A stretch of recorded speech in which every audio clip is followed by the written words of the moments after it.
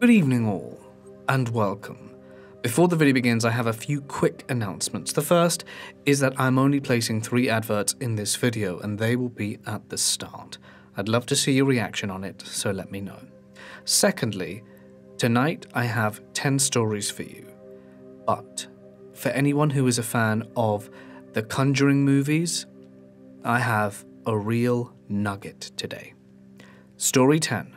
The last story is an account of someone who experienced something demonic in their home over the years and who has proof that they were visited by Ed and Lorraine Warren. This kind of story doesn't come around very often or at all, and with photographic evidence that I'm going to add in the video. So be sure to stick around, and it's a super long story.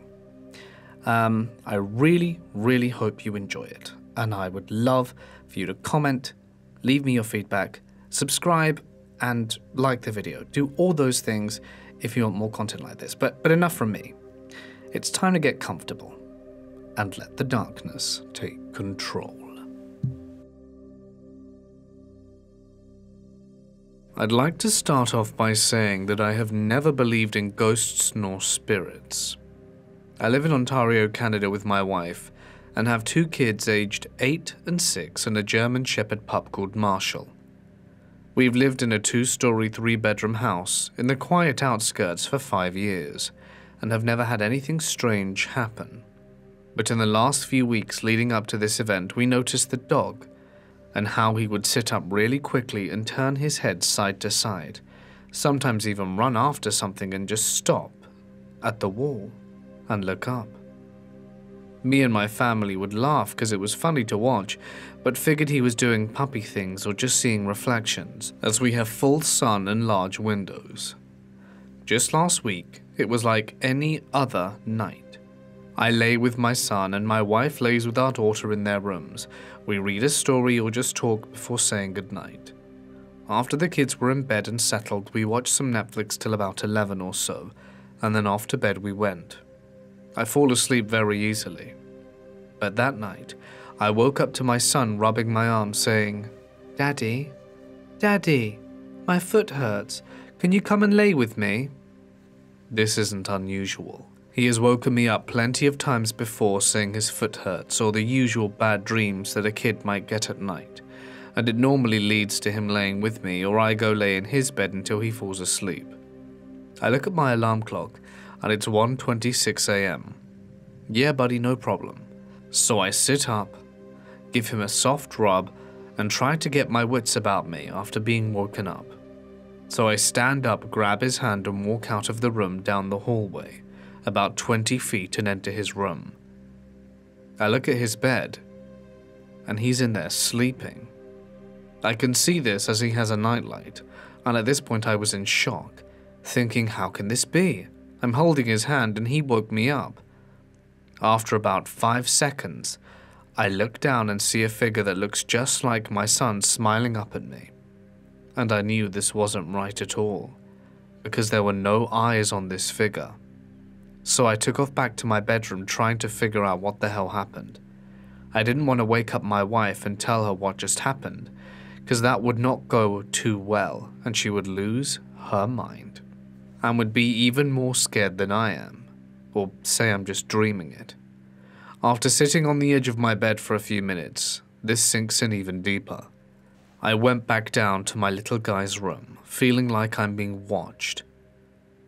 I wake him up gently and say, Hey, buddy, wanna come cuddle dad? He looks confused for the first time in the middle of the night that dad is waking him up for a cuddle.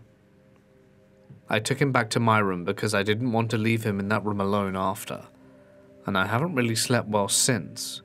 It's also made me think about other nights in the past that he's woken me up. Was it really him? Or the figure that I encountered? Or the nights I said, Yeah, buddy, cuddle up to me, and when I wake up, he's back in his bed? What about then? Was it really him? I hope whatever it is is gone. I don't want to see it again. Has anyone had any experiences like this, or knows what I may have encountered that night? My childhood home was definitely haunted.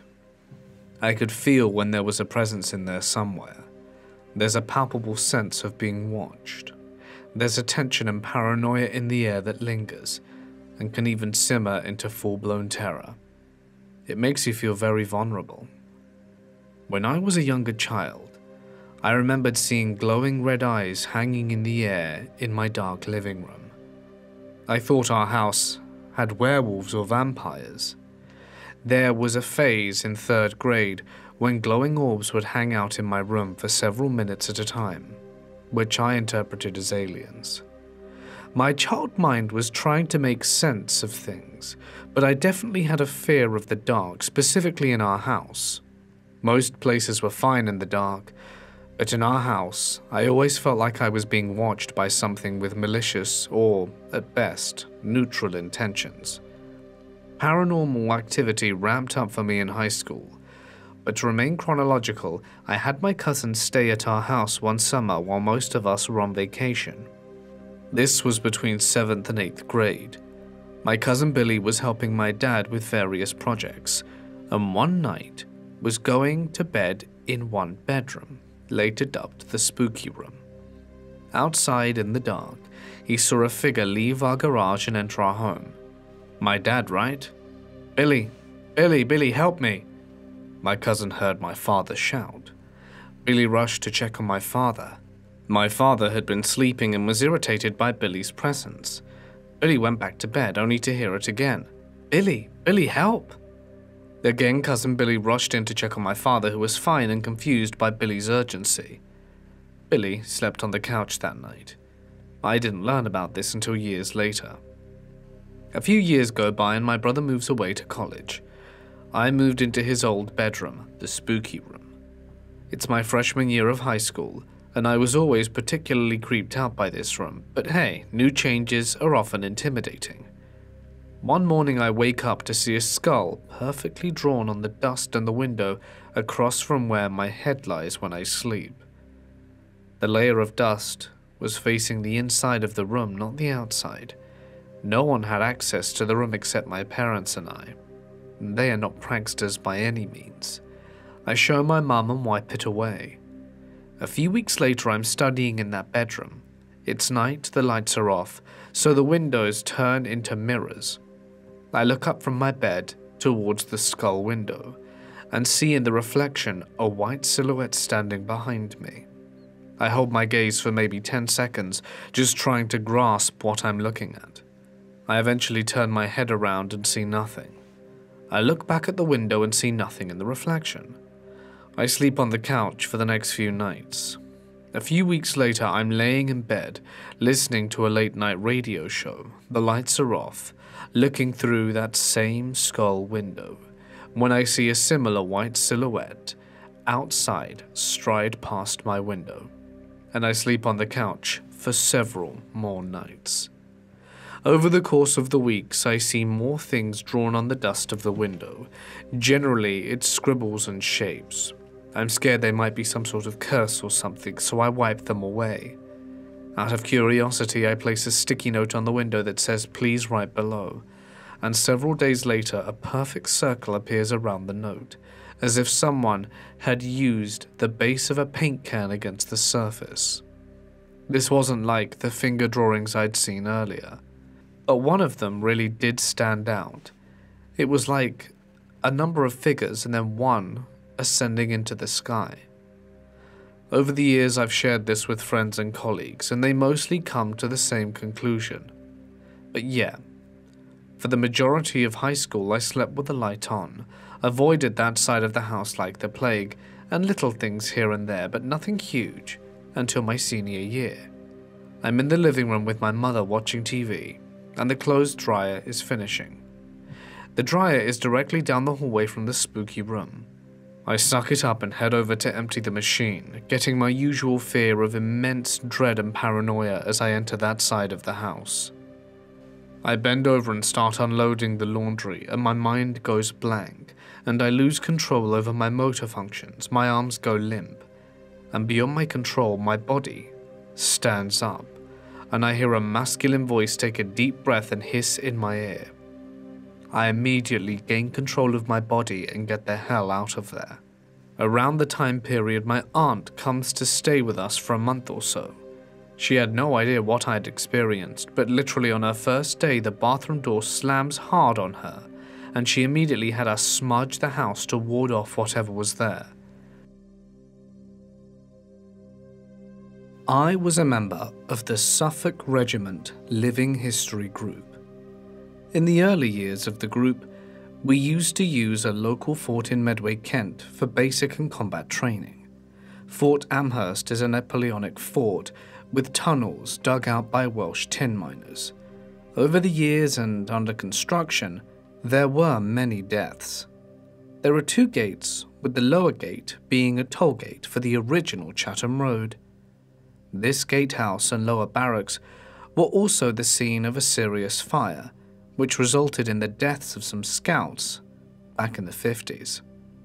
As a unit, we used to have the run of the fort's unrestored areas and parade square, on occasions using the lower barrack blocks, and even the public enjoyed seeing the place being brought back to life, even if it was World War II Tommies. Over the years, we had many fun experiences from confused soldiers from local barracks, from upsetting role players and LARPers, to gate crashing a rock video filmed in the lower moat. We also had a fair few paranormal encounters to match. On one occasion, we were doing night maneuvers in the unrestored area when I noticed a dark shadow following us. The human shape was black as black and stood out against the night and the trees of the wooded area. Being next to the army barracks, I naturally thought it was Mod Plod, military police. The shadow man kept up with us and appeared at every turn. What was strange was the lack of sound of broken brush, yet we made noise due to the equipment we carried. The shadow kept at a distance but was close enough to be seen. We had returned to camp and the shadow watched us from the forest line before turning and vanished. The next day, I spoke to one of the volunteers and asked the question, and the answer I got was puzzling. There was only one way in and a deep defensive ditch all around, and the military police don't patrol there. So, who was the shadow that followed us? Who moved without making a sound when 12 World War II soldiers blundered around in the dark? The second event took place in the lower gatehouse. The gatehouse had two levels with two doors, one top onto the drill square and the other on the former Chatham Road. After finishing a session of square bashing, we had entered via the top door. The last person had locked the door and put the large metal bar across it. The top level had three rooms, in which we stored our equipment, such as webbing, helmets, and great coats. The pegs are about 5 inches long with round knobs at the end, which would stop equipment from slipping off. We hung our kit up and headed down to the lower levels to set out our beds, light fires, and to start dinner. It must have been around 8 pm when we heard distinctly heavy footsteps overhead. Myself and two others had rushed on the top to check. No one was there, and the door appeared to be locked. We went back downstairs to carry on socializing and taking pictures when we heard it once more, then followed by an almighty crash. We ran up the stairs making a hell of a noise as we were wearing army boots. When we got to the top and checked out the rooms, in the room we found our equipment three meters away from the pegs, webbing on the bottom, small pack on top, with lightweight gas masks on top of all the packs, and Tommy helmet placed on top. How did they slide off a level peg? How did they float three meters away and stack up neatly? The webbing wasn't light and had to be lifted over a stopper, and the door was still bolted. As you can imagine, we didn't sleep much that night. I visited my home country of the Philippines in 2018 for the first time in four years. My parents, for some reason, had a two foot statue of a saint in their bedroom. One night, I asked my cousin to get my laptop for me in my parents' bedroom. I watched her open the door and she froze. When I asked her what was wrong, she said there was a little boy standing by the statue. You couldn't see his face, but he was wearing a white t shirt, and you could only see from the waist up. She closed the door and never went back in. A little later on, my sister came home from work. She still lives in the Philippines.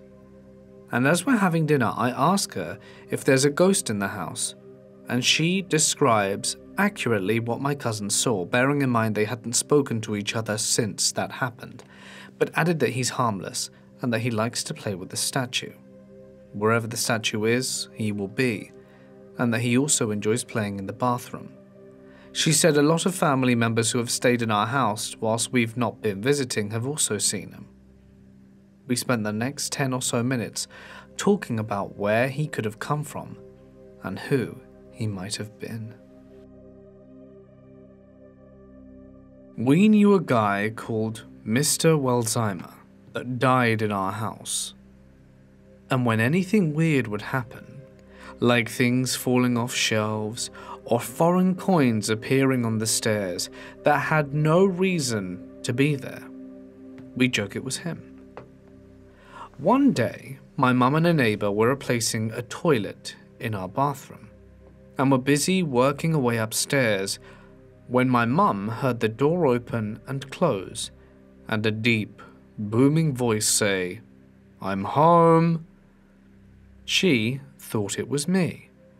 At the time, I was just a teenage girl and assumed that I was joking around. But it wasn't. I was over at a friend's house. When she came down to greet and investigate, she found that all the doors were locked front and back and to her surprise, I wasn't there. We're relatively sure it was our resident ghost playing a prank.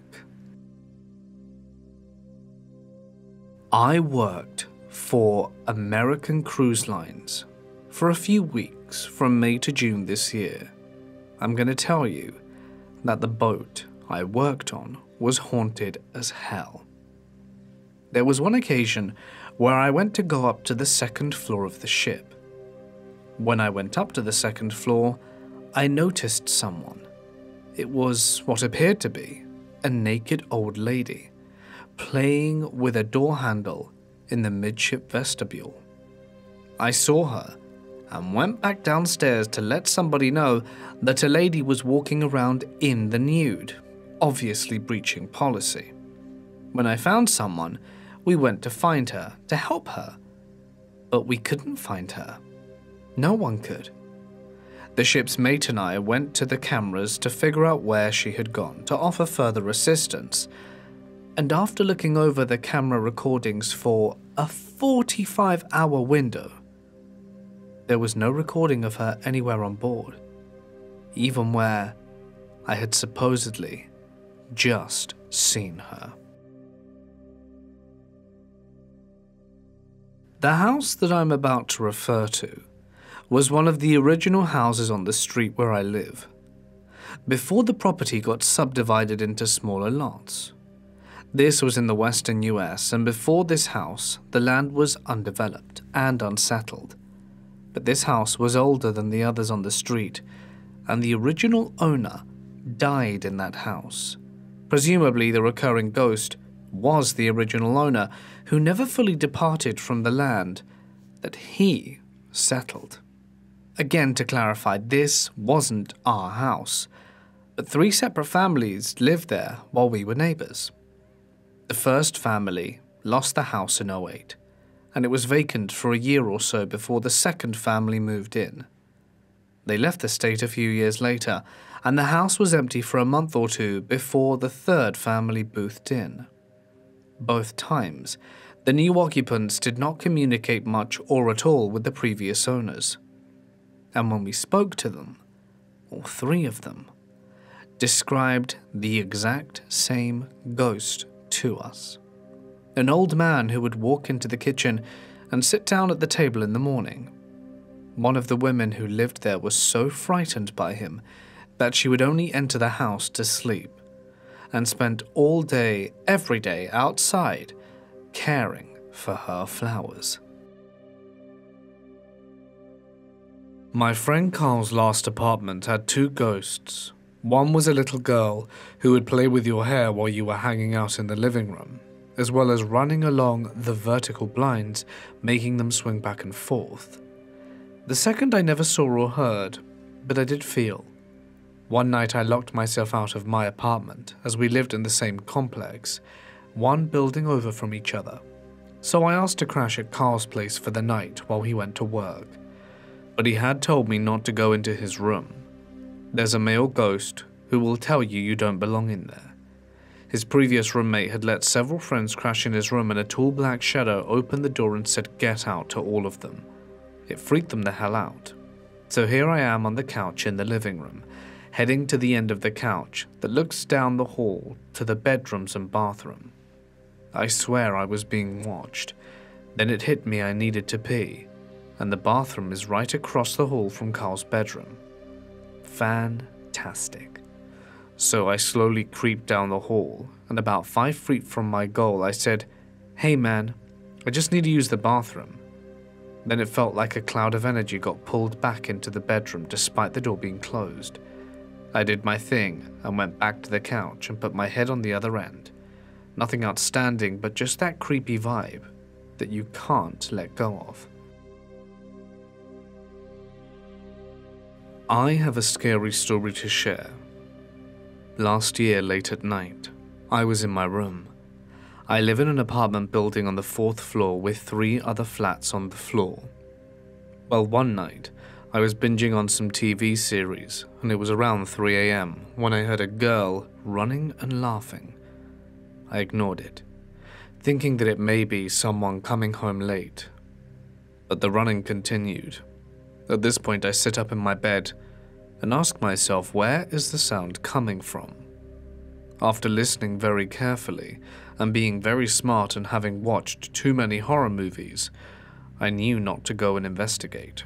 So I just tried to find the general direction. I thought it was coming from upstairs or downstairs, and the separate building is too far. It's not echoing either. So where? I ask myself. I deduce that someone is laughing and running in midair. Once I realized that, I asked myself if I should check it out. So I did the next best thing. I stuffed my headphones in my ear and continued binging my series to avoid ghostly encounters.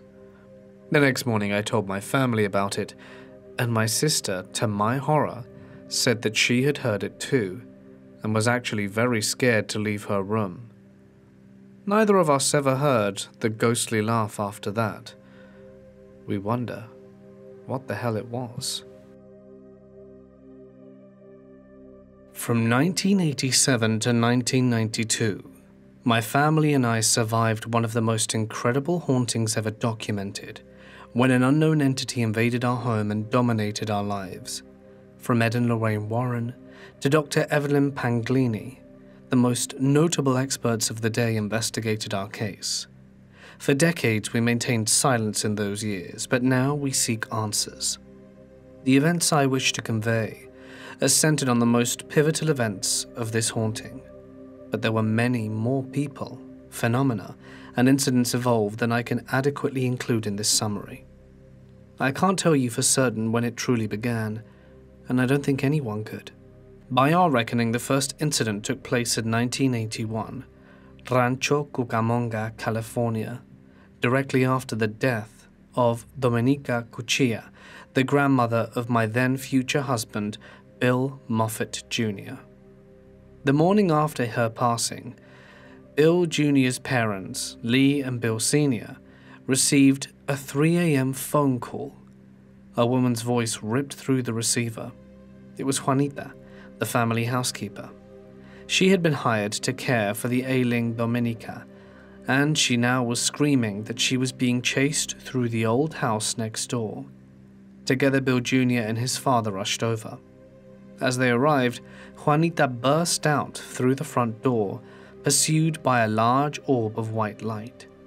The orb flew up into the sky and vanished, but Juanita kept running, fleeing to their house. Lee received the terrified woman and ushered her inside. Juanita wouldn't tell Lee what had happened. She kept babbling an apology in broken English, insisted that she had meant to help. Eventually, she asked to make a phone call, and soon an unknown car pulled into the driveway. Juanita bolted out of the house. She paused long enough to leave a final warning to Lee. Don't go back to your mother's house. There is only evil there. And despite Juanita's warnings, the miserly Bill Sr. demanded the old house be cleaned and rented out. During the process, they found hidden the aftermath of Juanita's secret activities hidden throughout Dominica's home. Broken rosary beads placed in the corners of the house, candles and bottled incense, long scratches along the hall walls, and animal remains. A devout Catholic, Lee was horrified to discover the remains of what she feared were profane, occult practices. Shortly after Bill Jr. and I married in 1987, our family began renting out the two properties we owned on Archibald Avenue, both of which were adjacent to our home. One was the Menikers' old house, and the other was a house Bill Jr. had inherited from his late aunt and uncle. The first incidents I personally observed occurred after we rented out a room in Bill's house to a young man named Danny. During one of our house inspections, Bill Jr. and I found that someone had accessed the den, where Bill Jr. kept his various sports memorabilia secure. A collection of baseball bobbleheads had been arranged into a large triangle on the floor. We assumed that Danny had done this, possibly as an odd prank, and later confronted him. He claimed not to know anything about it, but by rule of proximity, he was the only sensible suspect. Days later, Lee discovered some underwear draped over the statue of Jesus on her Catholic altar. Just as we had thought with Danny, she assumed that one of us had played a tasteless joke. We couldn't convince her otherwise, but every morning after there would be new objects waiting in the Jesus statue's open arms. Eventually, Danny's personal belongings began showing up on the statue, such as his mail and his wallet. We knew we couldn't ignore what was going on, but how could we explain it? Danny soon moved out on short notice. Immediately, the items ceased appearing on Lee's altar. Given the timing of the events, it seemed that our former tenant was somehow involved in these inexplicable episodes. We couldn't know how, and we didn't need to. Life could go on as normal, and that was enough for us. We intended to rent out Bill Jr.'s house again, and so had to inspect and clean the property. Danny had kept the place tidy, with a puzzling series of exceptions. Directly above every light switch plate in the living room were tiny symbols drawn in crayon. These symbols were completely alien to us and only supported our assumptions about Danny. The only other area that needed cleaning was a dusty row of dog statues that were arranged on a high shelf in the living room. I turned away, calling Bill Jr. for a stool, and when I looked back, every single statue was now facing the wall. Something had turned them all around at once. Bill Jr. was quick to dismiss my claim. You're just imagining things, Debbie, he said. The statues were probably like that before we got here. It's easier to agree than argue, but I knew I hadn't been mistaken. We resumed cleaning the next day. We found a lamp sitting in the middle of the living room. The doors were all locked and all the windows were intact. Bill couldn't dismiss this event as an illusion of imagination. No one would have entered the house, so it had to be something else that moved the lamp. So I asked for something else to move other objects. Since these weird occurrences had started up, nothing ever happened directly in front of us. I reasoned that we'd have to step out of the room. We stepped out of the kitchen, counted to ten, and returned. The dining room table was now occupying the middle of the living room. Terrified of the paranormal, Bill Jr. verged on full blown panic. My husband suffered from cardiomyopathy, and this sort of strain was dangerous for him. We left and later informed his parents of what we saw, though Lee was nearly as fearful as Bill had been. Bill Sr. waved her concerns away and urged us to finish cleaning the house. A mismatched couple by the name of Tom and Michelle were the next to move into Bill Jr.'s house. We also had another tenant who had been living in Dominica's old house an older man named Monty. Around this time, he made arrangements with Lee and Bill Sr. for his son Brad to move in with him. After everyone was settled in, it wasn't before long that new worries begun. Brad was a reclusive young man who never spoke nor smiled. We figured he was just a reserved individual, and it seemed we were wrong. On one of her neighborhood walks, Lee passed by the old house. She witnessed Brad in the backyard planting a tree upside down so that the roots were topside, and when he noticed her, he stared back, shovel in hand, rising to a stand as though his body was drawn up by strings. Lee hurried home, frightened he was going to give chase. One day, I noticed Michelle next door lingering in the front yard. Her face was swollen and discolored with fresh bruises. She whispered that she and Tom used to get along fine, but he had become violent and irritable since moving into Bill Jr.'s house. I offered to take her to a shelter, but Michelle assured me that she could take care of herself. A week came and went, and Michelle was nowhere to be seen. Tom informed me that she had left him and wouldn't be returning. Weeks after her departure, Tom too left without formal notice.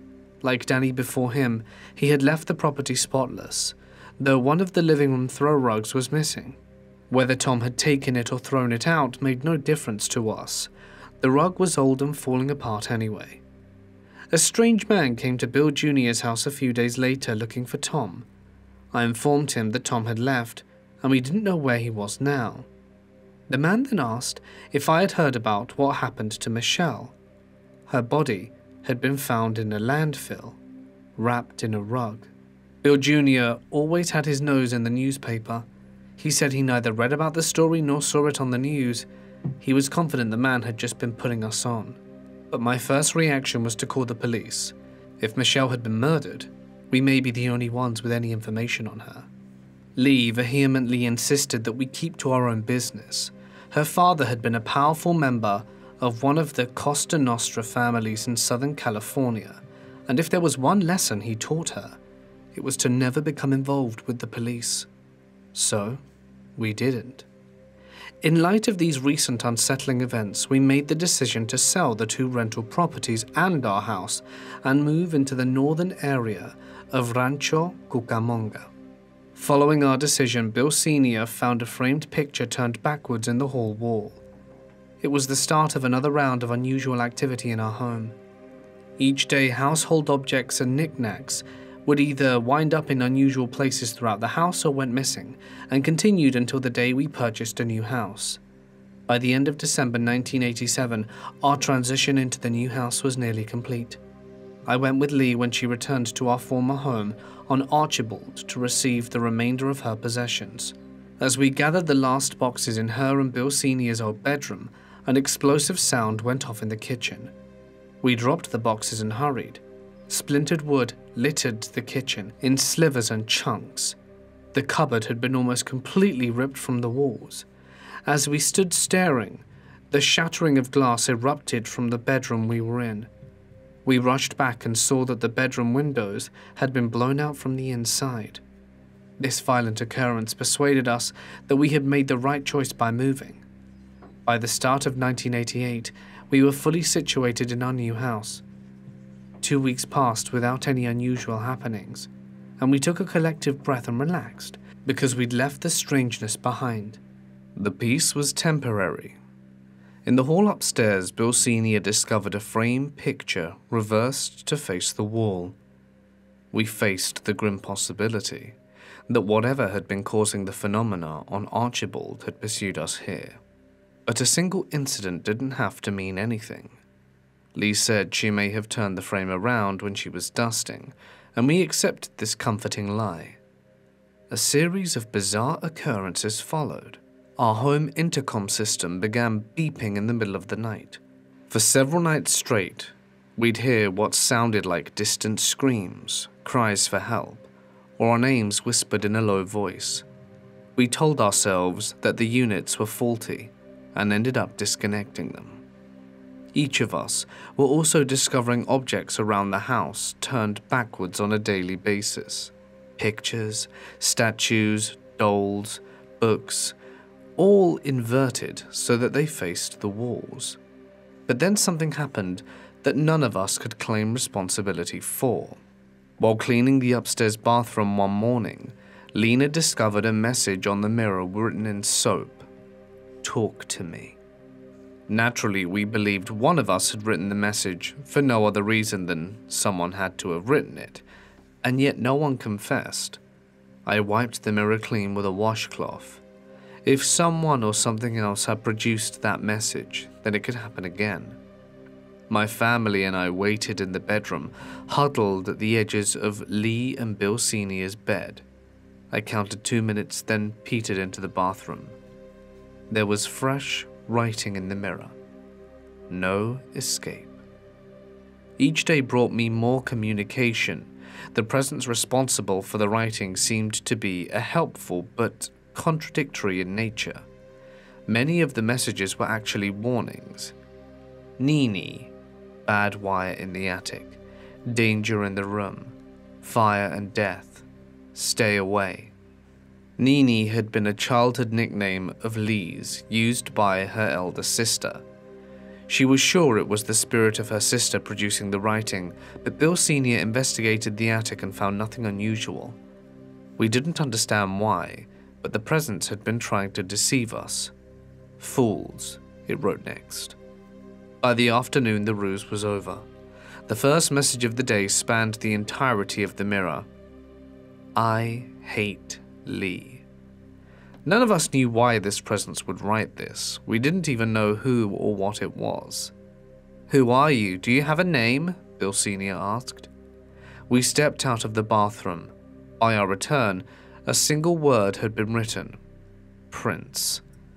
From the very beginning of these paranormal incidents, Lee had refused to let Bill Jr. and me try and find people who could help us. She argued that people would think we were crazy and ostracize us. This latest development was a turning point for her. We could no longer deny the paranormal nature of the activity in our home, especially now that it had turned threatening. Lee finally agreed that outside intervention was needed. She turned to the best source of spiritual assistance she knew, faith, and contacted a church to arrange a house blessing. A few days later, a priest arrived on our doorstep. He barely made it any further. Only a few steps into the foyer, he froze. He swished holy water through the air, muttered a few words of prayer, then flew back to his car and sped off. Lee was devastated, and Bill Jr. and I knew we were going to have to explore other avenues if we were to find help. In the meantime, the communication became increasingly hostile. I hate Lee. Lee died. These words appeared in the mirror all throughout the day. Verbal threats were just the beginning. The presence initiated a never ending assault against our house. It routinely gouged symbols into walls and doors, cut them into rugs, tore them out of carpeting, or fashioned them by whatever available means. Every surface was a potential canvas. These symbols were completely foreign to us, many outright defied description. The most prominent was a large triangle with an S shape attached to the bottom of it like a tail. We saw it constantly, as though our house had been branded. The presence appeared to hold a special disdain for religion, which it demonstrated through the destruction of Lee's Catholic paraphernalia. The altar in her and Sr.'s room was routinely dismantled and scattered across the floor. Lee would often discover her statues of Jesus and various saints in ruins. The head and left arm always snapped off. Religious wall decor was frequently found thrown from their proper places, sometimes with the force to have shattered them. Intimidated by these violent displays, Lee was ready to relocate downstairs, but Bill Sr. refused to give up his bedroom. One evening they retired for the night, only to find their mattress sliced to ribbons. For safety's sake, Lee and Bill Sr. moved into the master bedroom with Bill Jr. and myself. The abandoned second floor took an oppressive, heavy atmosphere. Ascending the staircase, you could feel the air grow thick and stifling until it almost felt unbearable. Encroaching upon our lives wasn't enough. our unseen invader had annexed part of our house as well. But moving downstairs didn't spare Lee from the presence's ire. Without anyone to receive its message upstairs, the presence began writing most of its communications on one of the mirrors in the downstairs bathroom instead. Writing like, I hate Lee, and Lee die filled the mirror constantly. And if someone didn't wipe it clean, the writing would extend to the walls in scratches and gouges.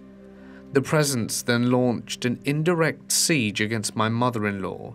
It destroyed her clothes, stole her personal effects, and began commenting on her daily life. When she read the Bible for consolation, it would write messages such as, God's fairy tale. Lee took to speaking the obscure language of T'arbrisht, which is a very rare Albanian dialect, to Bill Jr., presuming the entity would not be able to understand them. This would have afforded her some semblance of privacy. In its next message, however, the entity wrote to Lee in the same language with perfect fluency.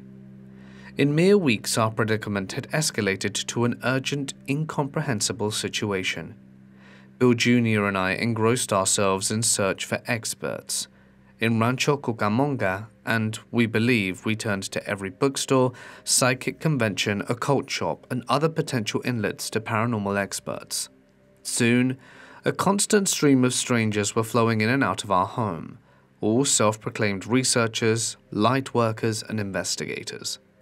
The presence would mock our efforts to combat it, often by dismissing whichever expert was called in as gutless or having no juice. It was a way to inform us that the upcoming challenger was utterly powerless. So far, no one had come close to disproving the presence. Our first meaningful contact was a local team of psychics who came to investigate our house. They informed us that our home was inhabited by an ancient, powerful entity. Unfortunately, this information was all they could provide.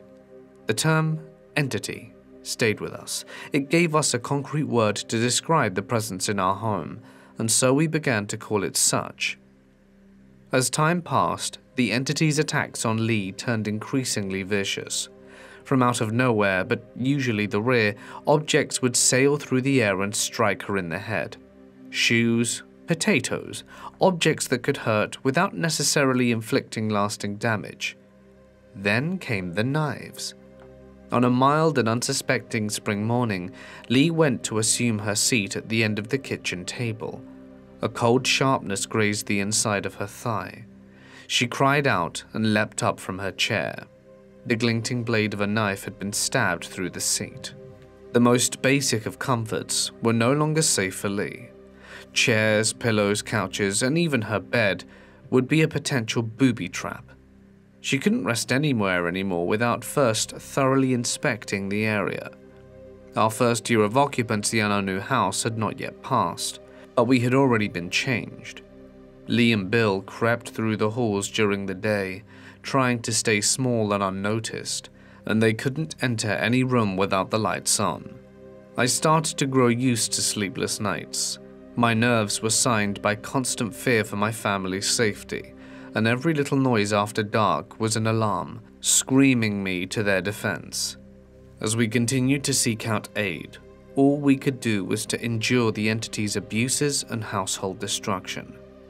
To punish our persistence, the entity constantly employed new tactics to wear away our sanity. Throughout 1988, the usual gamut of activity would be joined by a revolving slew of new phenomena every month. Pungent and revolting odors sporadically filled the house with the stench of excrement or rotten food. Strange noises pervaded most rooms, and it often sounded as though there were people walking around upstairs. Rats infiltrated our pantry and burrowed into the walls of our home. And for a month straight, crows made suicidal dives into the master bedroom's patio door. During the rat incident, Bill Sr. insisted that the rodent problem can be solved with the right amount of poison. Not only the rats will get the poison, the entity warned in the mirror. I was desperate. My insides knotted at the thought of bristling rodents scurrying all over us. Something drastic had to be done. These weren't typical rats. In the pantry, they would stare us down from the beams, unflinching and fearless. Considering the unusual nature of the rats, we speculated the entity was involved in their infiltration. My first and last ditch effort brought me to the bathroom. The mirror the entity wrote on had come to represent it in a physical sense, so I spoke to it, addressing the entity as I did. Please don't let the rats enter our house, I said. If you won't make them leave, then at least don't let them go any further than the where they are now. I left the bathroom but found no replies to my request upon my return. I knew the entity had heard me. It always heard us. But I didn't know if it would listen, and really why would it? It couldn't see us as anything more than playthings. It may have been a coincidence, but the terrible scratching sounds in the walls ceased the next day. We considered it, but moving away again would have been futile. It didn't work the first time, and the entity made it very clear that it was never far from us, no matter where we went. We'd find tokens from the places we'd visited, a waitress's name tag from a restaurant, or objects from a store that we hadn't purchased. Worse, the entity would sometimes perform odd feats that put us in troubling placements. If we had to meet new travel experts, then outside of any hotel or motel we stayed at would be vandalized with the same symbols that marked our house. We couldn't run. We had one option survive. But how long could we? Our lives further deteriorated under the entity's shadow. Lee waited out the majority of her days hunkered at the kitchen table or huddled on the couch, her bloodshot eyes scanning her surroundings for the danger she knew that was lurking. Bill Jr. soon joined me in my countdowns to sunrise, because the house seemed that much more threatening to him in the dark. We outlasted the nights, claiming our temporary solace each dawn. I could tolerate this lifestyle, but Bill Jr.'s poor health was a special concern. His physical limitations hindered his ability to cope with the disorder the entity had brought upon us, and any sleep he found during the mornings was fleeting. Between monitoring the mirror, worrying for my family, and the constant home repairs, the demand for vigilant was taxing. Yet, as strange as it sounds, I wasn't particularly worried for myself. I wasn't afraid of the entity and it was sooner, not later, than I asked myself why. Lee and Bill Jr. were terrified, so shouldn't I have been too? Yet my inner voice answered with a placid certainty that the entity could not touch me.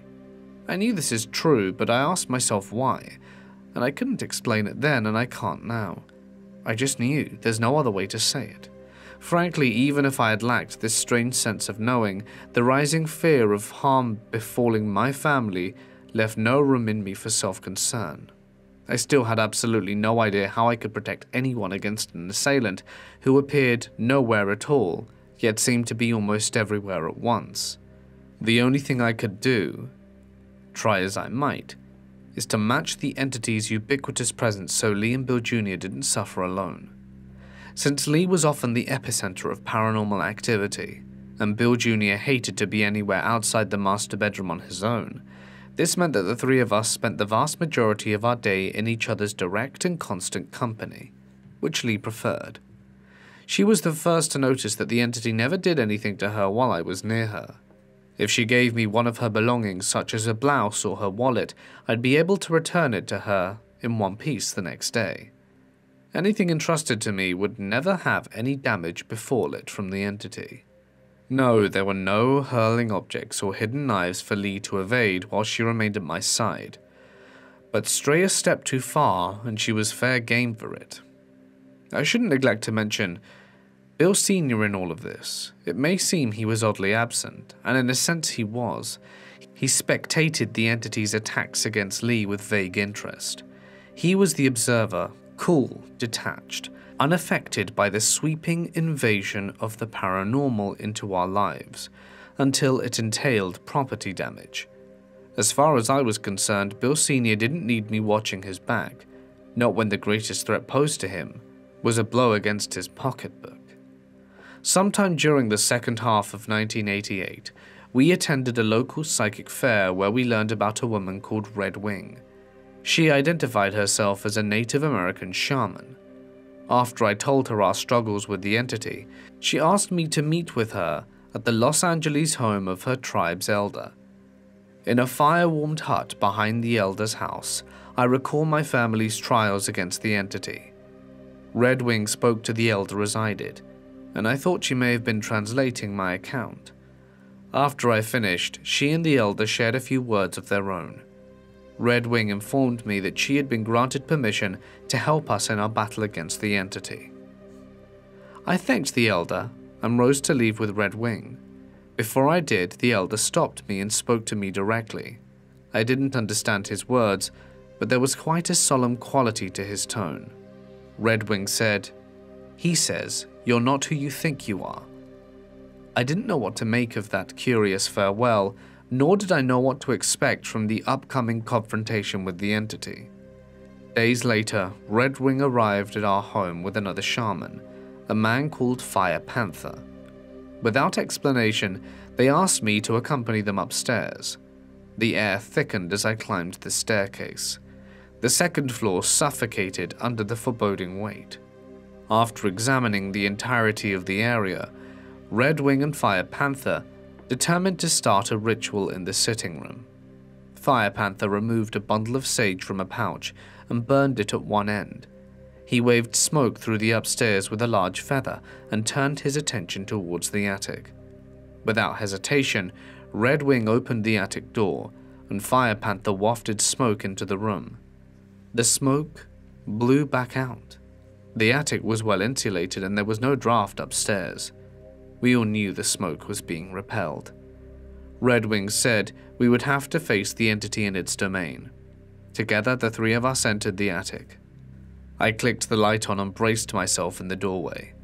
Fire Panther continued to burn sage and began to chant in a steady rhythm. We're forcing the entity to reveal itself, Red Wing said. There was a sudden creak. A roll of insulation slid down the attic's back wall. The material shifted again, twisted, and bent. It occurred to me vaguely that the profile of it had an enormous head and was forming before my eyes. A massive jaw deepened, sharp cheekbones arose, and a horn erupted in place of an ear spiraling down clockwise, the tip angled past a prominent brow. The completed visage faced the wall, the shadow of one of the deep set eyes was visible from where I stood, gazing to some distant beyond. The insulation held this shape for several seconds, then crumbled to the floor in a heap. We returned to the sitting room in silence. It took us a moment to digest what we had just bore witness to. Red Wing regretted telling me the entity was far stronger than they had realized. Despite their abilities, she and Fire Panther would be unable to oust it from our home our search for rescue would go on. Near the end of 1988, we made the acquaintance of paranormal researcher Gary Kent. He recognized our case as an opportunity to break new ground in the field of parapsychology and offered to stay at our home to document the entity's activity.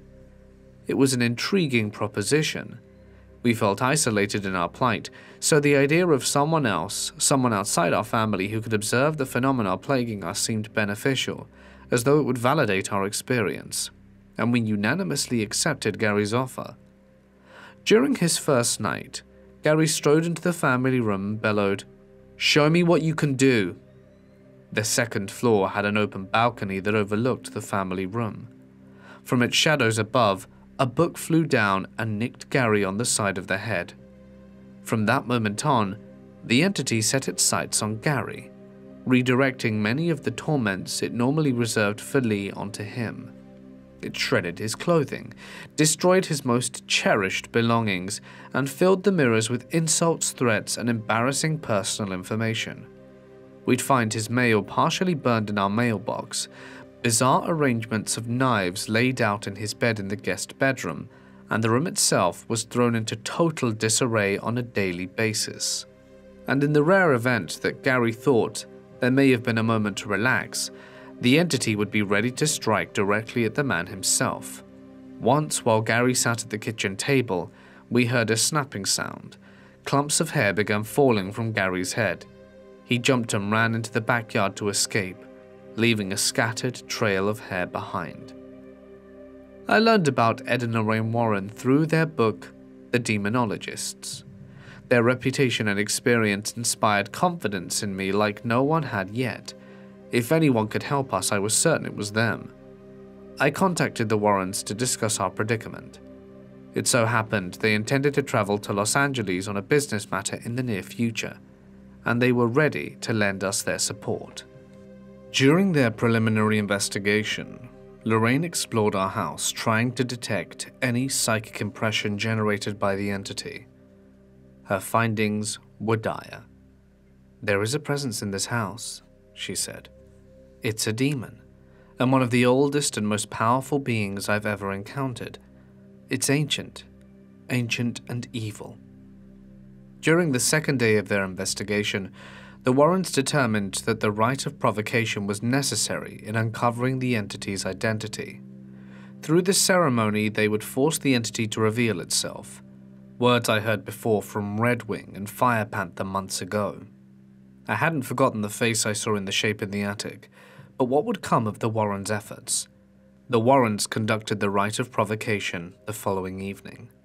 They selected our living room for the purpose. We seated ourselves in a U shape on the couches while Ed and Lorraine positioned themselves on a pair of chairs separated from us, but part of the formation.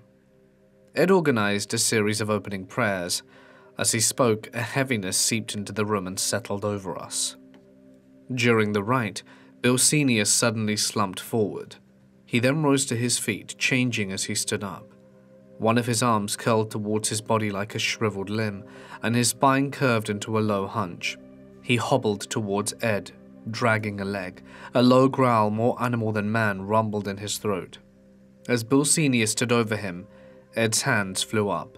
Pinched between his finger was a small glass vial containing a shard of wood. He thrust it into Bill Sr.'s face and shouted, This relic is a piece of the Holy Cross and it protects me. You cannot harm me. Bill Sr. paused and sneered wolfishly, baring his teeth. His voice was hardly his own. I'll bite it off your hand, chew the wood up, and spit it in your face. With neither man surrendering any ground, Bill Sr. turned his sight on Lorraine, seizing her in a glare. She stared back defiantly, deflecting him. He hobbled away and collapsed on the couch, where he had been sitting. He sagged into himself and then rose into a proper seat. He blinked and glanced around, as though he was waiting for something to happen. The Warrens believed that the entity directly influenced Bill Sr.'s actions. Though he seemed alright after the ceremony, the incident was a cause for concern. The Warrens didn't personally have the power to force the entity to vacate, but they made arrangements through St. Mary of the Angels Church in Los Angeles for an exorcism. But it never came to fruition. After the Warrens' investigation, Gary made new living arrangements elsewhere and departed our home. Lee was once again the sole recipient of the entity's physical aggression. She, one day, made the mistake of venturing into the pantry on her own. Bill Jr. and I were in the family room when we heard a frantic pounding on the pantry door. The door was jammed. Bill Jr. had to wrench it open, and we discovered Lee prone on the ground and in the dark. We helped her sit, and it was then we saw the evidence of an attack. Deep red marks lined her neck. Trembling, she managed to tell us that the entity had attempted to strangle her she thought it was going to kill her. This direct physical assault pushed me to the brink. Lee had suffered more than anyone. My mother in law was a wonderful woman, a dutiful wife, and a doting mother. She didn't deserve this. Who did? I charged into the bathroom. The mirror was blank. I positioned myself in front of the sink and focused. Anger didn't cloud my mind, but sharpened it. I realized that to confront the entity, I had to bring it to my level. Still, I don't know where I found the courage to speak the way I did. This is the way it's gonna be.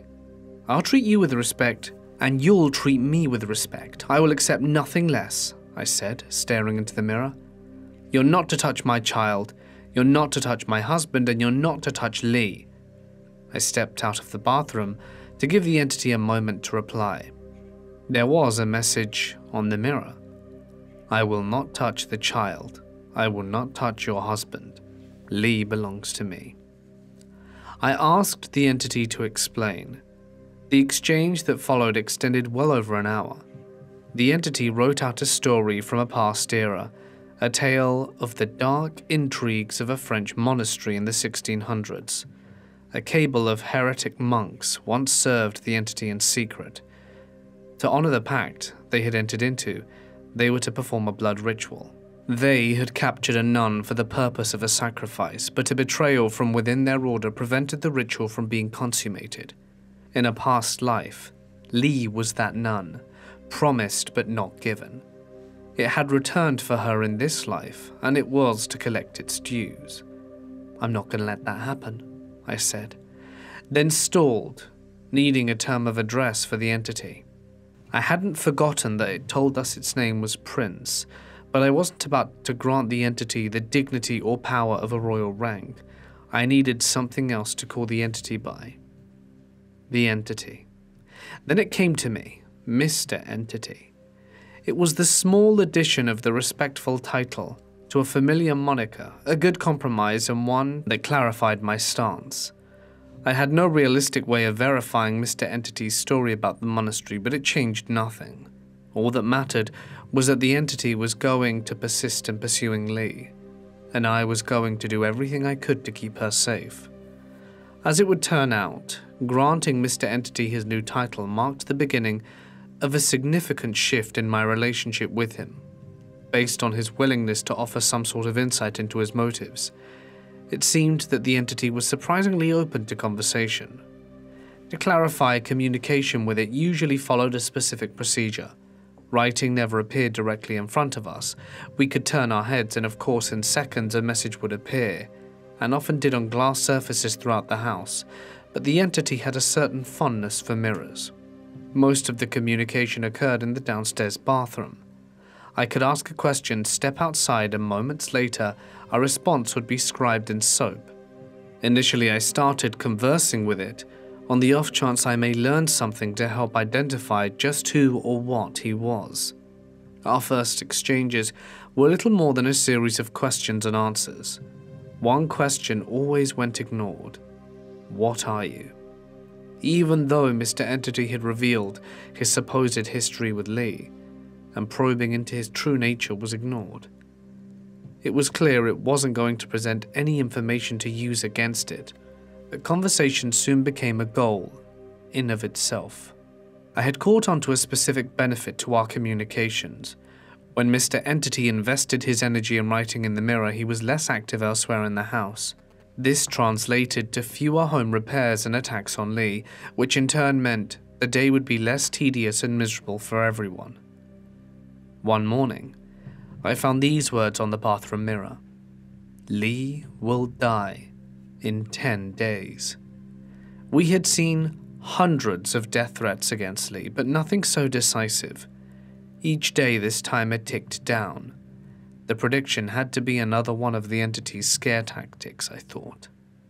It had to be, because Lee was healthy, and he couldn't kill her, otherwise she'd be long dead, or so I believed. On the final day of the countdown, Lee woke up exceptionally early, suffering from sudden breathlessness and chest pain. She was admitted to the hospital, where she was diagnosed with developed pneumonia and congestive heart failure. In the ICU, Lee deteriorated further as her heart weakened. After three weeks of intensive treatment, she rebounded somewhat and was transferred to a private room, but she was still very ill and drafted in and out of consciousness. Bill Sr. was largely indifferent to his wife's condition, but nevertheless, he and I alternated hospital visitations while Lee recovered. During this time, we hardly felt the entity's presence at home. He felt obliged to give us reminders. The occasional knick-knack or picture would be turned around, but I only had to clean the mirror once or twice each day. Eventually, and against all odds, Lee recovered little by little, and soon she was well enough to come home. I didn't realize how miraculous Lee's survival was until she confided in me in the night of her return that the entity came for her while she was in the hospital. Every time she was awake, she'd see a black stain on the ceiling in her hospital room. It moved closer and closer, traveling across the ceiling, seeping down the wall, and sliding into place on the ground beside her bed.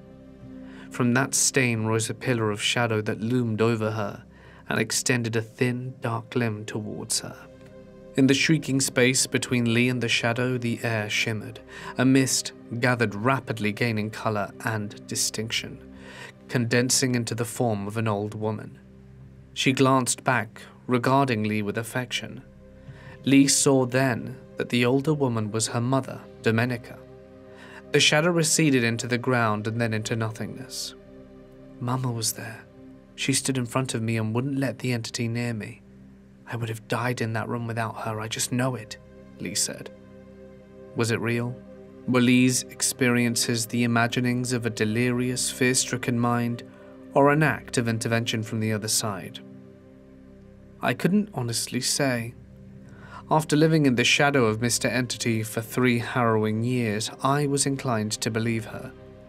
Lee's recuperation was going to be a lengthy process. She required supplemental oxygen while she healed. Mr. Entity took advantage of her weakening state to launch devastating new attacks. She'd often wake up in the middle of the night, gasping because her oxygen cord had been severed. Seeing her through the recovery demanded extreme vigilance on all our parts. I rarely separated from Lee during our years under the entity, but it was while she was recovering that I was most reluctant to leave her side. Sometimes it simply couldn't be avoided. One evening, I asked Bill Sr. to stay with Lee in the family room until I returned. I was speaking to Bill Jr. in the master bedroom when Lee burst through the doors and collapsed on her knees. She heaved breath upon breath, and I panicked that she was on the verge of a heart attack. She managed to calm down and told us what happened. After I had left the family room, Bill Sr. promptly found some excuse to go to the garage. He assured Lee he'd only be gone for a minute or two, and too exhausted to worry about being alone, she reclined on the couch and waited. Her gaze wandered to the ceiling and then the second floor. The balcony, specifically, right above her, where she noticed a shadow hanging over the guardrail and thought it might have been Bill or me. The shadow stretched over the railing and came to float directly over Lee, hovering in mid air. It was a mass of smoky fog and snake like tendrils.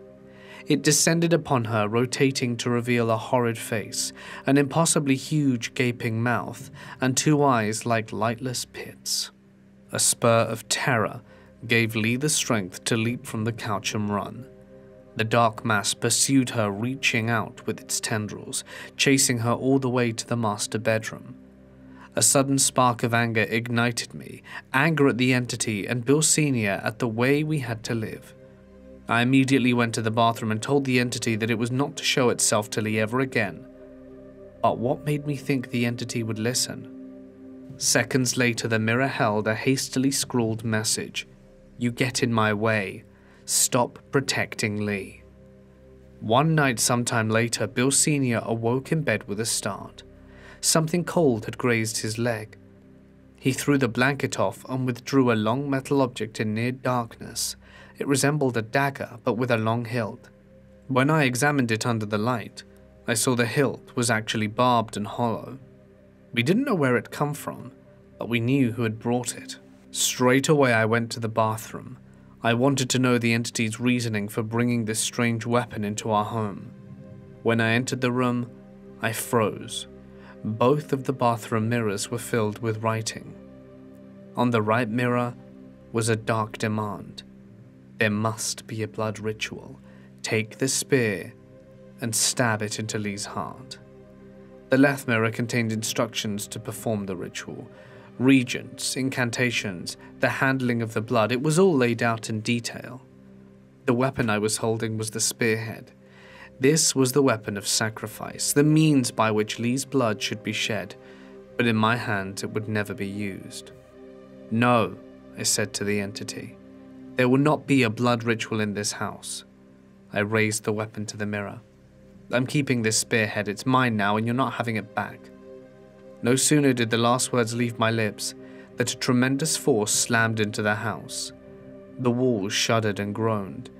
I raced to the master bedroom. Everyone was all right, but shaken. It sounded like a bomb had gone off upstairs.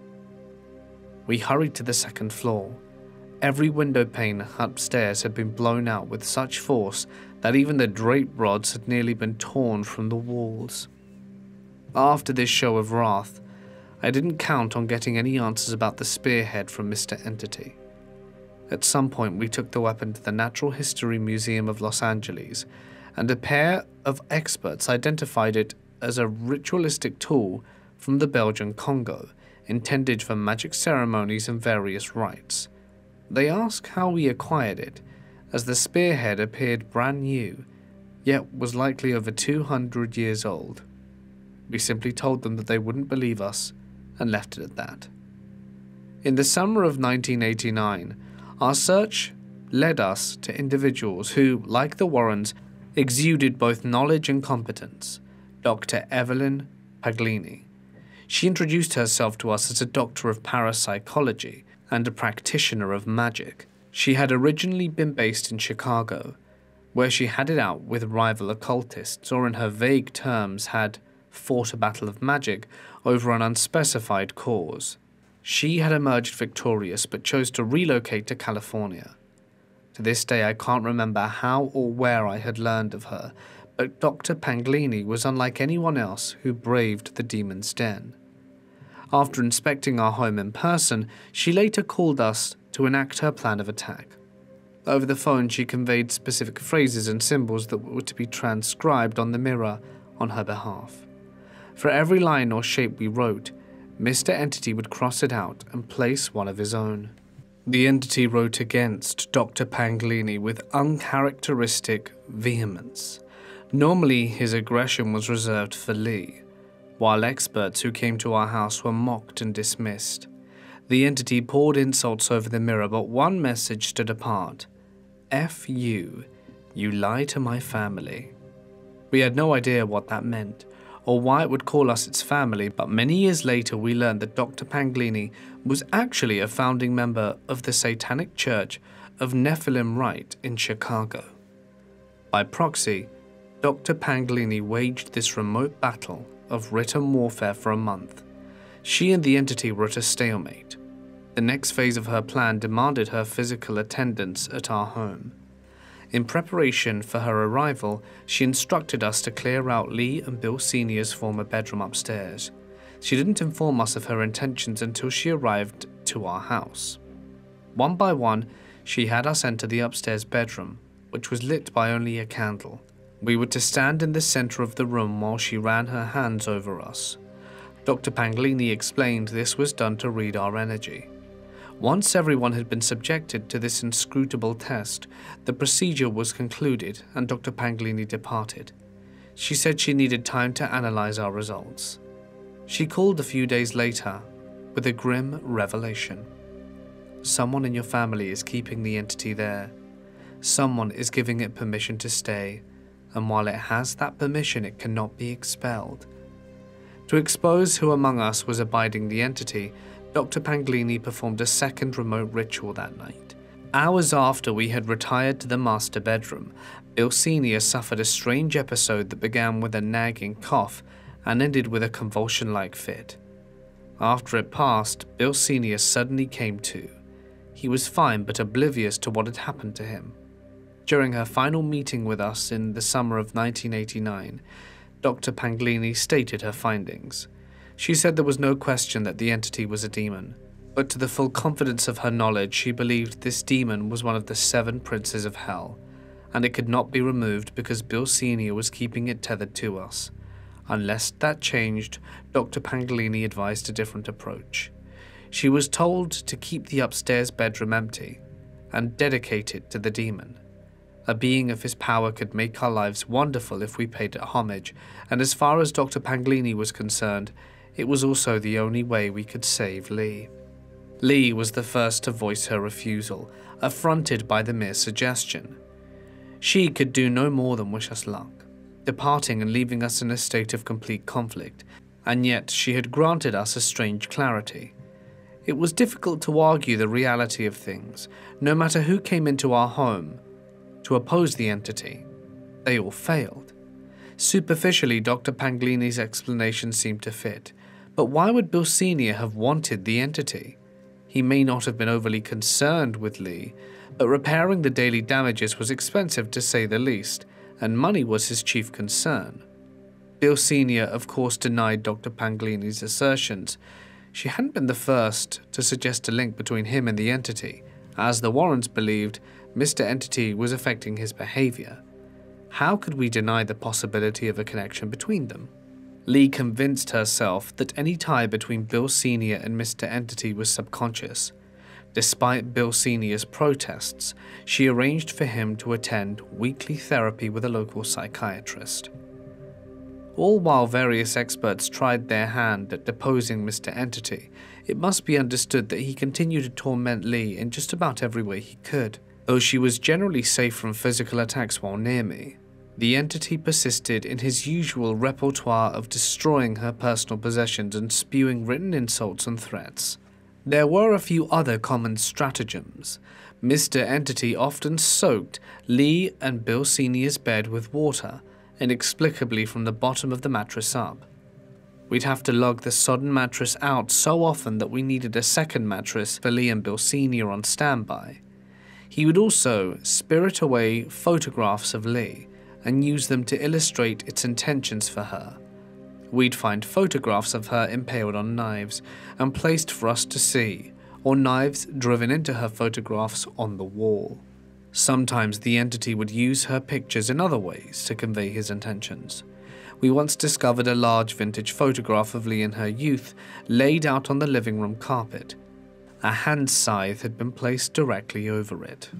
As Lee endured each attack, Mr. Entity would innovate new ways to isolate her. For a time, Lee's doctor's appointments would be mysteriously cancelled out of the blue if questioned, receptionists would say that someone had called to cancel them. Then, to embarrass Lee, the entity began hiding one shoe from each pair she owned, just to make the few short ventures she made out more difficult. And of course, the demand for the blood ritual persisted. During the years of the haunting, Gary Kent would periodically return to our residence, always desperate for a place to stay, and always without a single better option. These occasions were reprieves for Lee, as the entity would channel most of its wrath onto Gary instead of her. When I questioned him about this, Mr. Entity wrote that Gary too had lived a past life in France during the 1600s. He was allegedly the abbot of the monastery where the original blood ritual had been thwarted. Of Gary, the entity wrote, He punished my servants, now he will be punished. Again, I didn't know if these claims were true but it was clear that Mr. Entity bore greater hatred from Gary than my mother in law, even expressing a willingness to use his blood over hers for the ritual. This threat would drive Gary from our home and lives for an extended period. In the latter part of 1990, Bill Sr.'s personality underwent a startling transformation. He became quiet, withdrawn, almost reclusive. He was absent at dinners and shed much of his weight. He wasn't slender, but there was a hollowness to him, like he was empty on the inside. But most troubling was Bill Sr.'s strange new tendency to leer at Lee. Whenever Bill Jr. and I were out of the house, he would creep into the master bedroom when Lee felt safest and alone, and would sit on the edge of their bed, mumbling to himself. He would turn his head mechanically towards Lee, and he'd stare at her until Bill Jr. and I returned home. Fearful of this menacing behavior, Lee soon refused to allow Bill Sr. back into the master bedroom. Rather than move to the downstairs guest room, Bill Sr. returned to the abandoned bedroom upstairs to sleep and would continue to do so. A few nights later, a wild cry pierced the air. It came from the upstairs bedroom. Bill Sr. was howling like a wolf. His nose was in the air when I burst into the room to wake him up. Completely unaware, he awoke in a daze and rolled over into instant sleep.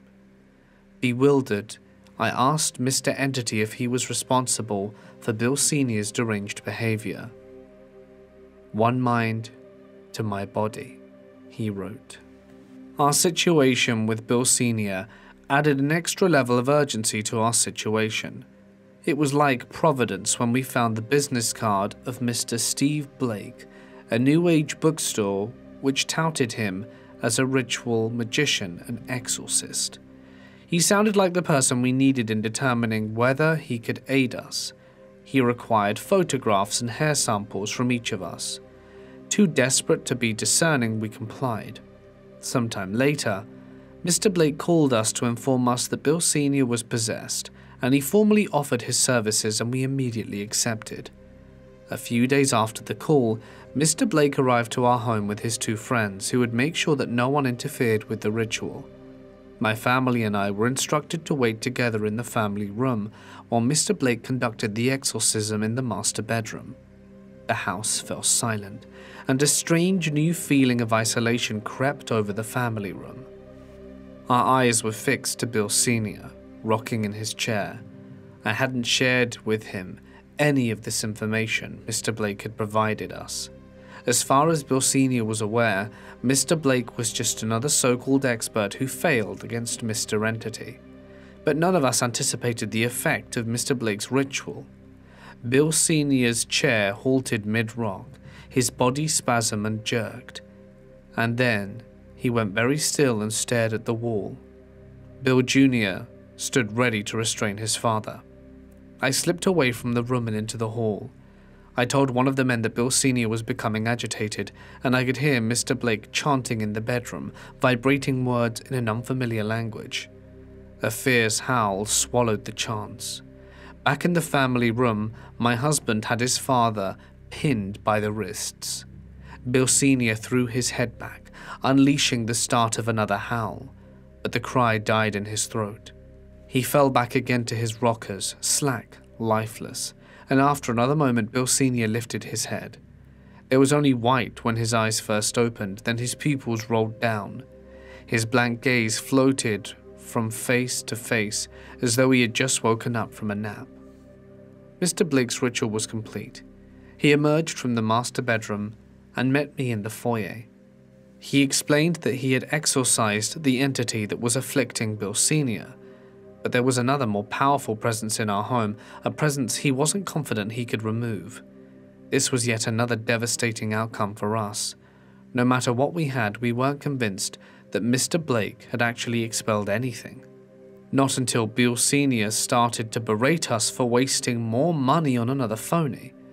It might have been premature for us to declare that Mr. Blake had succeeded, but it appeared that he had claimed the first victory in our struggle against Mr. Entity. We tried to contact him again later, but our calls failed to go through. Whether made in or out of the house, I couldn't find his business card at the bookstore where Bill Jr. and I had first learnt about him, nor at any others as far as Rancho Cucamonga was informed. Mr. Blake didn't seem to exist. Though Lee still clung to the hope that Bill Sr.'s connection was subconscious, I witnessed firsthand this wasn't the case. One afternoon, sometime after the exorcism, I heard someone repeatedly entering and leaving the bathroom. I glanced from the master bedroom and saw Bill Sr. slinking down the hall towards the kitchen. Once he was out of earshot, I peered into the bathroom. Blotchy streaks of smudged soap were wiped across the mirror. A wet washcloth hung on the lip of the sink. All signs pointed to the obvious. I asked Mr. Entity if Bill Sr. had been talking to him. The entity's response was, Yes, the little prick wants to use me to kill Lee. He cannot command me. As callous as cold as Bill Sr. was, this was a level of cruelty I didn't think he was capable of, and I couldn't understand why he would want Lee dead. Neither could I comprehend why Mr. Entity would expose Bill Sr. if their goals aligned. It was difficult for me to fully dismiss the entity's disclosures as lies, I knew that Bill Sr. had been removing evidence of communication from the mirror, and I believe Bill Sr.'s true motives became apparent after I told Lee about her husband's apparent collusion. She too had been observing him acting covertly. The day before, Bill Sr. failed to show up for breakfast, but she heard him moving around upstairs. From the steps, she peeked into the bathroom and he had retrieved a box of her old bank statements from the closet and spread them out over the bed. Lee didn't know what he planned on doing with the documents. His name wasn't on her primary bank account. She had inherited her wealth from her parents, and he had no right to it. Money was my father in law's only love in life. He may have held on to the reins of his marriage, but perhaps it was Lee who held onto the purse strings. Divorce would split the assets, but Lee's death would ensure that Bill Sr. inherited everything they shared and grant access to her untouchable personal account. I urged Lee to get rid of Bill Sr. She was never going to be safe with him around, but Lee didn't want to believe that he sought to use the entity against her. She wasn't ready to. Eventually, to show Lee that he wasn't responsible for Mr. Entity in any way, Bill Sr. agreed to see a local psychiatric specialist for intensive therapy. He wanted to prove once and for all that there were no latent ties between him and the entity. During one of his therapy sessions, Mr. Bill revealed Mr. Entity's existence to his doctor. Bill Sr. must have forgotten. But in 1990, most people didn't casually speak of the paranormal, never mind invisible assailants in conversations. His therapist misconstructed his heavy handed account as psychosis and detained Bill for 48 hours for observation at the mental health center. Bill Sr. wasn't affronted by this misunderstanding and instead asserted that he had our interests in mind. He willingly submitted to a full two week psychological evaluation, and during this period, the frequency of Mr. Entity's activities waned. It was impossible to disregard, and the only difference in our home was the absence of Bill Sr. Bill Sr. soon passed his evaluation and was cleared to be released. We went to pick him up from the mental health center, but Lee went into the building alone to retrieve him. Moments later, she stormed out of the building and jumped back in the van, quivering with outrage. Lee told us Bill Sr. had been waiting in a room for her. He explained that his doctor wanted to speak with her personally. The doctor thought if she received proper treatment, the entity may go away. Lee realized that Bill Sr. had convinced his doctor that Mr. Entity was a fabrication and had somehow portrayed her as the source of all paranormal activity that had pervaded our lives. Lee started to leave, but the doctor arrived. He asked her not to go, pledging that he only wanted to help her. His assurances only made her move faster. Moments later, Bill Sr. strolled out of the building and leisurely climbed into the van like nothing was amiss. He said to Lee, You're embarrassing, you know that? I thought you wanted to get rid of the entity. They fought the whole drive home. Unable to deny the extremity of his betrayal, Lee had finally had enough. As we pulled into our driveway, she suddenly declaimed, You're not stepping one foot in my house. Take your suitcases and truck and leave. I don't give a damn where you go. Just go. Suppressing his fury, Bill acquiesced but assured us he'd be back. Two months into my father in law's absence, we finally began to realize that he had been a purely negative presence in our lives. We no longer had to worry about his unpredictable behavior, his attempts at collusion with the entity, or his general maliciousness. A lightness grazed our house, which further worked against Mr. Entity's diminishing influence. For the next two years, we would continue to seek out paranormal investigators and occultists as we entered into a stage of cohabitation with the entity. Lee and Bill Jr. still stowed away in the master bedroom much of the time, even though the entity's overbearing presence had receded. Though Mr. Entity still damaged our house and verbally attacked Lee, these incidents dwindled in frequency. Instead, Mr. Entity's interest in communication gradually supplanted his desire to torment my mother in law. He proved eager to flaunt his vast wealth of knowledge, past, present, future, and there was little the entity seemed ignorant of, and conversing with him ensured the energy he did have was consumed. He also moved more objects into our home than before. Many, he said, were gifts, from pendulums, rocks, and bells to photographs of strangers and other odd tokens.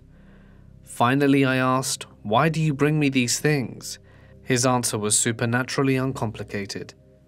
I want you to have them.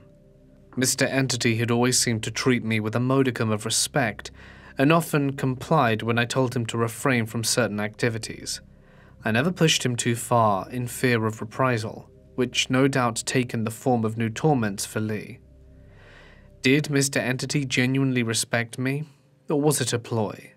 What was the point? Whatever ulterior motive the entity may have had, I couldn't begin to fathom it. Sometime in 1992, we received a familiar plea. Gary Kent was once again in need. His life was in shambles. A string of misfortunes had cost him his last job and left him nearly destitute. We were his last resort. As always, we welcomed him into our home. Mr. Entity poured his limited energy into the singular goal of harassing him at every turn. The usual barrage of destroying Gary's wardrobe and pummeling him with insults now included efforts to deprive him of what few luxuries he could afford. Though Mr. Entity lacked his former constancy, he was no less dangerous. One morning, Gary came running out of the guest bedroom with a shotgun in hand. Dumb with panic, he managed to tell us that Mr. Entity had laid it under his pillow. The gun had been loaded. It was a startling reminder that any peace we found was imagined. As long as the entity remained with us, my family would truly never be safe. One evening, when he and I were the only ones in the family room, Gary informed me that he would soon be leaving us again to move to England for a job prospect, but there was something he needed to do before. He intended to ask Mr. Entity to leave with him. It was a dangerous bid. He thought the entity had the power to turn his life around. The fact that Mr. Entity despised Gary was somehow immaterial to this belief. I questioned Gary, wanting him to think hard about the chaos he risked inviting upon himself. Gary, as he put it, had no prospects to look to, no hope for a better life and no future. The entity was his one and only bid for change. Gary went to the bathroom and spoke out loud. He said that he intended to leave for England and wanted the entity to join him. They could become one. The entity didn't respond in writing to Gary's offer, and after an extended silence on the entity's part, Gary implored me to ask why, which I did the following night. The entity wrote in reply, I will not work with an inferior being. I will defeat him if I must. You told me you hated Gary, as he was long ago, but why do you hate him now? I asked. The message read No integrity, no homage, no character, no substance, no word. I will stop him in his pursuit. Mr. Entity's condemnations were baffling. Why would he, a supposed demon, be concerned with these qualities?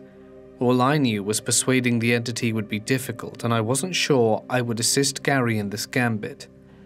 I recalled then what Paglini had told us years ago that Mr. Entity couldn't be ousted while one of us gave him permission to remain. If true, well, Bill Sr. was gone, and there was no one to abide by the entity. The chains he had cast over us could be broken, but did we have the power to do that? Did I? Now, October 1992. It had been over six years since Mr. Entity had invaded our lives, and that was why, at long last, after weathering the isolation, the strife, and all consuming doubt, this nightmare had to end.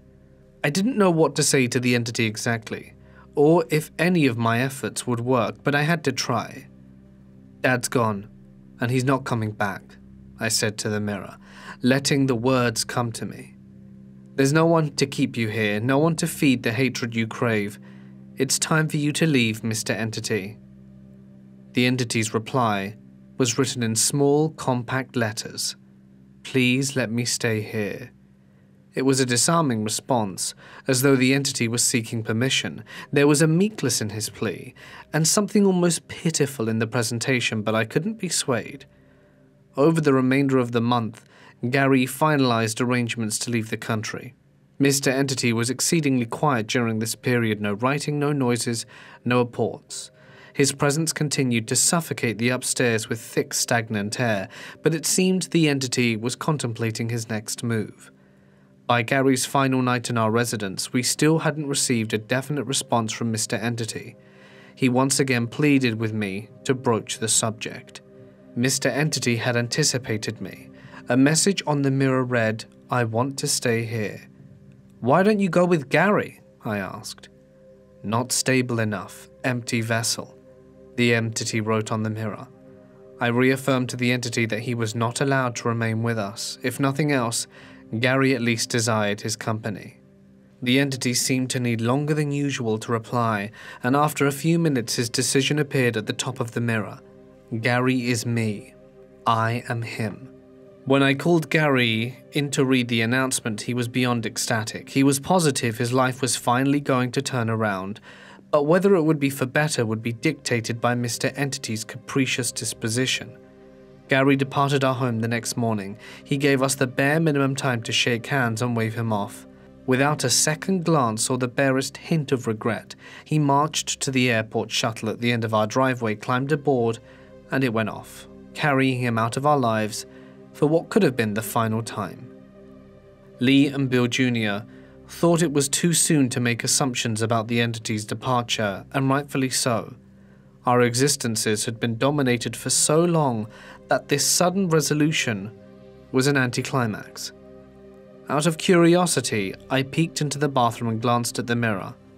Mr. Entity had left us a parting message. Goodbye, my family. Days trudged into weeks, then months. We were wary to lower our shields, but every day that passed without paranormal activity strengthened our hope that Mr. Entity was truly gone. After an entire year without symbols carved into the house or writing on the mirror, we could at last accept that Mr. Entity was no longer bound to us. But we had still been changed by our experiences. Lee and Bill Jr. didn't feel safe on their own, and I was still ever vigilant in watching over them. We had the freedom of the entire house, and yet the master bedroom still served as our haven. It would take time, but one day we finally moved forward. In an effort to leave the past behind, the three of us promised to never openly speak of Mr. Entity again. As for Bill Sr., he and Lee divorced in 1994, and that was the last we heard of him directly. I kept distant touch with Gary for a short time.